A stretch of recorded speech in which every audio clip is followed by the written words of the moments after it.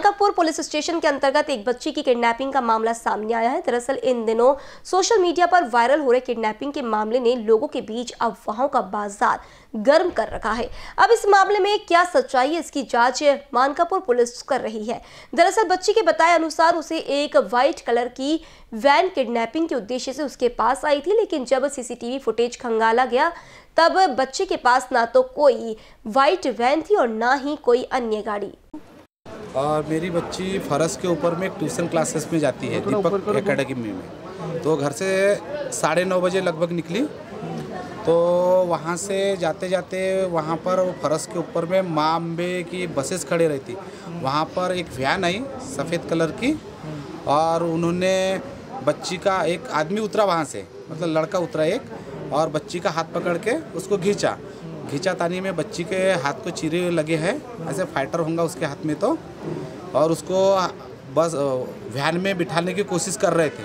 लेकिन बच्ची ने झटका मार के वगैरह, जैसा भी है, वहाँ से अपना पीछा छुड़ाई और वो अपने ट्यूशन के तरफ़ में भागी। और ट्यूशन में जा कर के फिर ट्यूशन के सर का फ़ोन आया मुझे कि आपके बच्ची को किसी ने पकड़ा और उसको चीरे वगैरह लगी हुई है, बच्ची घबराई हुई है तो आप जल्दी आ जाओ करके। तो मैंने उनको बोला कि आप सीधा थाने में आ जाओ। तो उन्होंने सर वगैरह आए दो तीन सर और बच्ची को थाने में लेकर के आए। फिर यहाँ से कुछ थाने के मैडम लोग वगैरह जा कर के वहाँ पे इंक्वायरी करे अभी तो उसका बयान वगैरह भी चालू है बच्ची का। ये साढ़े नौ बजे की घटना है। हाँ ट्यूशन पढ़ती दीपक एकेडमी स्कूल में भारतीय कृषि विद्यालय स्कूल है वो लेकिन ट्यूशन दीपक एकेडमी है ट्यूशन। दीपक एकेडमी में ट्यूशन में पढ़ती है उम्र उसकी 16 साल है। परत चौकामध्ये एक डी एस ए क्लासेस आहेत. त्या ट्युशन क्लासेसमध्ये एक मुलगी सकाळी नऊ नऊ पंधराच्या दरम्यान जात होती. आणि तिच्या कॉलवरून किंवा आलेल्या माहितीवरून असं माहिती पडलं की कोणतरी एक मारुती व्हॅन येत आहे आणि तिला किडनॅप करण्याचा प्रयत्न करतो आहे याच्यावरून आम्ही सर्व आमचे पोलीस स्टेशनचे डी बी पथक आणि ऑफिसर्स स्पॉटवर पोचले तिथले लोकल कॅमेराज चेक केले. त्याच्यामध्ये असा काही प्रकार दिसला नाही.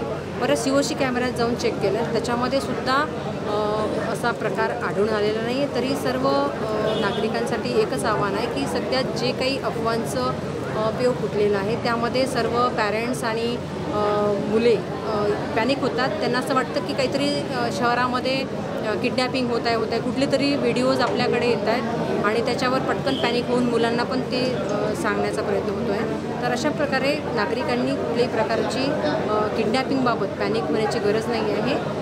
कुठलाही जर आपल्याला काही संशयास्पद वाटते आहे तर पटकन वन वन टूला कॉल करायचा आहे. नागरिकांना फक्त या एवढंच आव्हान.